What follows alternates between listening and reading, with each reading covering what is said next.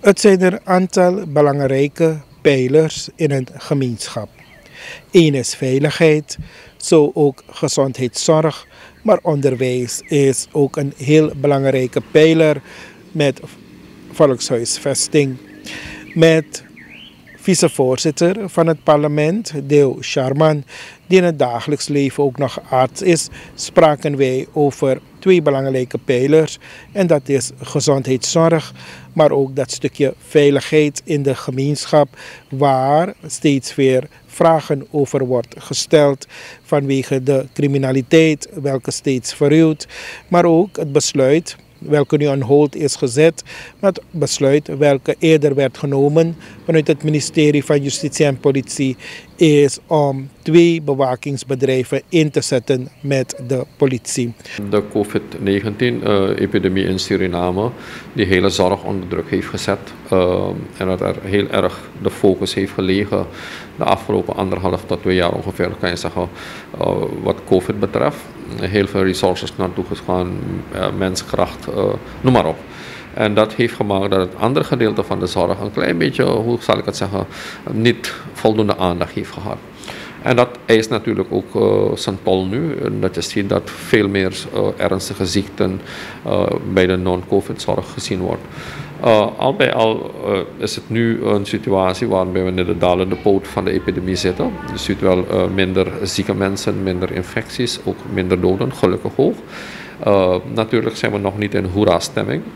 Het blijft een zorgpunt. En ten meer dus de maatregelen nu versoepeld zijn geworden, is het nog nadrukkelijker samen mede te delen dat ze rekening moeten houden met de COVID-maatregelen nog steeds. Vooral jonge mensen die nu iets langer over straat mogen blijven en bij al die gelegenheden gaan chillen en, en, en, en feesten, dat we daar nog steeds rekening mee moeten houden met alle Mohana-maatregelen. Dat we niet het idee moeten krijgen van het is minder geworden, dus we mogen weer alles gaan doen. Nee, zo is dat niet. Het andere gedeelte van de zorg, uh, wat we algemeen noemen als non-covid zorg, dat moet natuurlijk meer aandacht gaan krijgen. En ik hoor de president nog zeggen van de minister moet zich op dat, gedeelte gaan focussen. En uh, ja, langzaam zullen we natuurlijk uit de hele situatie gaan kruipen. En je zal in die zorg, want dat heb ik altijd bepleit, je zal die zorg op een andere manier moeten gaan organiseren, zodat de efficiëntie in de zorg gaat toenemen. Zodat je met minder geld uh, meer zou kunnen doen voor die samenleving. En primair in deze is je een beetje gaan focussen op de preventieve uh, kant van de zorg. Want daar uh, schort het enorm aan. als het gaat om de curatieve zorg, doen we alle interventies, plegen we alle investeringen. Maar we zien weinig investment in preventie. En dat is ook erg belangrijk dat we daar de juiste aandacht aan geven, maar ook de budgetten voor vrijmaken. Dus uh, dat zullen we zeker ook aanhalen tijdens de begrotingsbehandelingen. Als ik het niet doe, zal iemand het wel moeten doen. dat uh, daar iets meer aandacht aan gegeven moet worden. Uh, en vanaf jongs af voor kleine, kleine kinderen moet je al beginnen te leren hoe ze gezond moeten eten, hoe ze gezond moeten leven, welke dingen ze niet moeten nalaten, et cetera. dus dat verhaal moet duidelijker gaan worden. En zodat wij een gezond volk hebben. Want dat we zoveel COVID-slachtoffers hebben gehad, pardon, heeft mede te wijten gehad aan uh, zeg maar een volk dat heel veel onderliggende ziektes heeft. Bloeddruk, suikerziekte, hartklachten, astmaklachten, noem maar op. Enorm veel mensen die lijden aan dit soort wat we noemen NCD's, non-communicable diseases. En dat heeft gemaakt dat we ook veel slachtoffers hebben gehad. Dus je ziet wel, de COVID-situatie heeft ook onze ogen opengegooid, ons wakker geschud van jongens, ga meer investeren in die preventieve gezondheidszorg, dat het volk gezonder wordt. Begrijpt u wel? Dus je kunt veel zeggen over die gezondheidszorg, maar de organisatie van de zorg zoals het op dit moment is, is één met een open eindfinanciering. Je blijft er geld in stoppen, je ziet de output niet zoveel, weet je wel. Dus laten we over die zorg in, in brede zin gaan bespreken met alle uh, zeg maar stakeholders in de zorg. En kijken hoe we die zorg beter kunnen organiseren, kunnen presenteren, waarbij de output veel beter wordt ten behoeve van die samenleving uiteindelijk. Ja. Maar ziet u dat de investeringen daadwerkelijk zijn gepleegd? Uh, laat me aangeven dat de inspanningen worden gepleegd om, om zeg maar, meer te investeren in de preventieve sfeer. Ik hoor de minister ook wel zeggen dat BOG zal moeten gaan verzelfstandigen. Dat BOG een, uh, zeg maar een primary health instituut zal moeten worden, van waaruit alles wat met, preventieve gezondheidszorg te maken heeft, uh, georganiseerd zal moeten worden. Nu is het een klein beetje hapsnapbeleid. RGD doet wel wat, medische zending doet wel wat, BOG doet, wel ook wel wat, maar die coördinatie is zoek. Terwijl je veel meer betrokkenheid zou moeten hebben van meerdere actoren, ook bij het ministerie van Onderwijs. Uh, hoe zou je gezondheidszorg willen implementeren in het onderwijs gebeuren, dat mensen bewust worden van wat ze moeten eten, drinken en hoe ze moeten leven. Dus kortom, uh, ik denk dat die awareness ook bij beleidsmakers, bij policymakers aanwezig is. de noodzaak is er ook daar om die investment te plegen. En natuurlijk gaan we praten over budget. We weten dat systematisch de afgelopen jaren steeds minder is geïnvesteerd in de gezondheidszorg. Waar we een keertje uh, 10 tot 12 procent van onze BBP eh, stopten in de gezondheidszorg, is dat nu minder geworden, uh, rond de 4 tot 5 procent. Dus u begrijpt wel, ook die afwegingen moeten gedaan worden. Hoeveel geld hebben we voor over voor de gezondheidszorg? Dus die discussies moeten allemaal gevoerd gaan worden.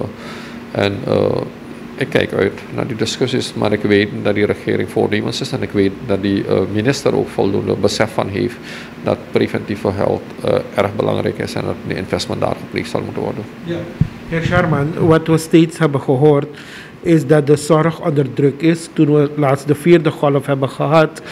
Maar de cijfers, de statistieken zijn nauwelijks uh, gedaald of men heeft wat meer um, uh, ruimte gegeven aan de mensen, bewegingsvrijheid gegeven. Maar geeft men daarmee ook ruimte aan die zorg om op adem te komen? Uh, er zijn twee dingen. Kijk, uh, dat je de, de COVID-maatregelen bent gaan versoepelen, dat heeft mede te maken met het feit dat een groter deel van die bevolking inmiddels gevaccineerd is. En daardoor minder, zeg maar, minder vaak ziek wordt of minder ernstig ziek wordt, ook als ze COVID oplopen. Uh, dat die awareness bij delen van de samenleving waar het voorheen minder was, is gaan stijgen om wel te gaan vaccineren. Dus je ziet wel ook een rush van uh, mensen die vroeger redelijk terughoudend waren, dat ze nu wel gaan vaccineren. Uh, daardoor heb je versoepeling van maatregelen gehad, maar daardoor creëer je inderdaad ook ruimte om meer aandacht te geven aan, aan alles wat met non-COVID zorg te maken heeft. Dus die zorg, en zeker in de eerste lijn voor de patiënten voor diabetes en hypertensie, wat dat zijn zaken die dwars door de samenleving voorkomen, die zal nu meer aandacht gaan krijgen vanuit de zorgverleners. Maar dat is niet voldoende. Ik zeg altijd, uh, staat en valt met gezondheidseducatie en gezondheidsopvoeding. Uh, als mensen niet bewust zijn van zaken, zullen ze steeds verkeerd blijven doen. En dat is een ware uitdaging, want uh, in een kleine bevolking van Suriname met rond de 600.000 mensen is er enorm veel uh, chronische ziekten aanwezig. En dat baart zorgen. En uh, kijkt u bijvoorbeeld naar nierdialyse, hoeveel patiënten hier dialyseren, dat is gigantisch veel. Maar het dubbele daarvan zit al in de predialyse, dat we zeggen, die zullen vroeg of laat ook dialysepatiënt gaan worden. En dan moeten we allemaal gaan uitzoeken waar ligt het aan. Ligt het aan de voeding, ligt het aan onderliggende ziekten, ligt het aan levensstijl, begrijpt u wel, ligt het aan medicijnengebruik. Alles moet uitgezocht worden, gegoten worden in een preventieprogramma, zodat je die categorie van patiënten veel minder gaat krijgen. Dus het, zal, het vergt wel wat studie, vergt wel wat uh, zeg maar, uh, visie in de gezondheidszorg en betrokkenheid van die samenleving is erg belangrijk. Sharman, naast gezondheidszorg is veiligheid een belangrijke pijler, ook een belangrijke pijler in die gemeenschap, in de samenleving. Wat vindt u van dat stukje veiligheid waar we toch geluiden, veel geluiden krijgen uit die gemeenschap dat men zich niet echt veilig voelt? Uh, dat is helemaal waar. Ook als je uh, leest naar allerlei krantenberichtingen, hoeveel uh, berovingen, verkrachtingen en al dat soort dingen plaatsvinden. En steeds meer verruwing ook nog plaatsvindt, dan baart dat bijzonder veel zorgen. en ik zie ook, ik heb ook gelezen dat de politie een ondersteuning gaat krijgen van zeg maar, beveiligingsbedrijven. kijk, je kunt een aantal dingen daarvan zeggen. Uh, ik zag ook dat de politie niet zo lang geleden ook um, statistieken had gepubliceerd als dus, de, de criminaliteit aan het dalen zijn. Daar geloof ik niks van, omdat je zal niet beveiligingsbedrijven vragen te ondersteunen terwijl de criminaliteit aan het dalen is. Dus ik denk dat uh, die informatie niet juist is. En eigenlijk wil ik zelfs zeggen dat het een stukje manipulatie is van die grote samenleving. Om te doen alsof criminaliteit aan het dalen is, terwijl er wel beveiligingsbedrijven in dienst neemt. Aan de andere kant geeft dat ook aan dat de het korps uh, politie Suriname toegeeft dat ze niet in staat is de criminaliteit te kunnen handelen en dat ze hulp zoeken, extern, nu van deze beveiligingsbedrijven. Ik begrijp ook dat het leger zal inkomen om uh, assistentie te geven. En ten derde, als je externe mensen laat mee participeren in het veiligheidsproces, dan kijken ze mee in de keuken bij je. Zijn ze deelgenoot van jou geworden in jouw handelingen en jouw activiteiten, begrijpt u wel? En dat is niet goed, want als politie moet je ook die mensen en die organisaties een keertje kunnen controleren en, en, et cetera. Begrijpt u wel? Dus je begrijpt wel dat dit zorgen baart en de gemiddelde burger voelt zich natuurlijk heel erg onveilig. En, uh, en ik hoor de samenleving ook zeggen van ja, maar wat doet de president? En die, ik denk dat die vraag niet onterecht is, want we kennen de president. Het is een, uh, een man die uh, ja, als minister van Justitie inderdaad ging voor zero tolerance, voor, je, voor no-nonsense politiek, had een ketenbenadering. En mensen zeggen van ja, maar de Santoki moet gaan optreden. Dus ik denk dat inderdaad de bal nu bij de president is om te zeggen van als het korps niet in staat is, of als de korpsleiding blijkt niet in staat te zijn die veiligheid te garanderen, dan moet de president inderdaad serieuze interventies gaan plegen in de korpsleiding. En, uh, maar de veiligheid baart ons zorgen. Uh, als je kijkt naar berovingen, maar vooral grove berovingen, verruwing van de criminaliteit, dat baart ons zorgen elke dag. En ik uh, hoor ook ondernemers zeggen van we kunnen onze geld niet op de bank gaan zetten, want dan moet je duizend en één formulieren gaan invullen en allerlei toestanden. Dus mensen houden hun geld thuis, dat weten de criminelen ook. En dan slaan ze toe. Begrijpt u? Ik kreeg vandaag nog een bericht waarbij een bekend uh, uh, bedrijf in Suriname, althans de eigenaar is overvallen en een half miljoen euro en zo weet ik veel hoeveel goud en sieraden zijn buitgemaakt. Dus u begrijpt wel. En dit veroorzaakt angst in die samenleving. Hè. En dat is precies wat we niet moeten hebben. We hebben het al moeilijk genoeg in dit land. Mensen hebben het verschrikkelijk moeilijk. En als je ook nog niet rustig kunt slapen, omdat je elke keer bang bent dat dieven zullen toeslaan of rovers zullen toeslaan, dan, dan is dat niet goed. Dus nogmaals, meneer Ganesh, dit baart mij zorgen. Maar ik denk dat de president één is, een vakman is op dat gebied. Hij is bekend als crime fighter. Dus ik denk dat hij de nodige exercitie nu wel zal moeten plegen om die samenleving die rust en die veiligheid te garanderen. Ja, en vooral mede gelet op de periode van het jaar waar we nu op gaan. Ja. Heer Charman, is dat stukje veiligheid toch uh, extra gevraagd? Ja, absoluut. Uh, we gaan richting uh, eind van het jaar en je weet hoe dat is.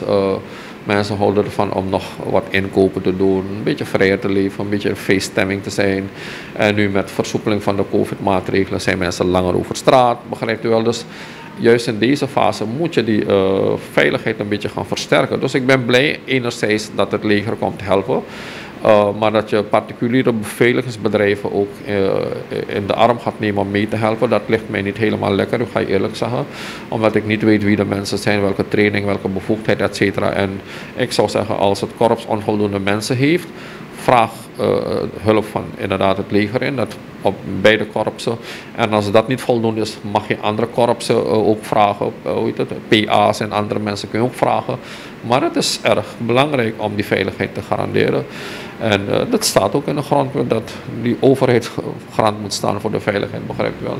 Maar anyway, het, het, is, het is niet te accepteren dat die criminaliteit zo uit zijn voegen is geraakt en dat die burger zich onveilig voelt in haar, zijn of haar eigen huis, dat is niet goed. We zullen dit moeten serieus moeten gaan aanpakken. Anders heb je het al moeilijk in dit land en je kan niet eens behoorlijk slapen en dat is niet goed, meneer.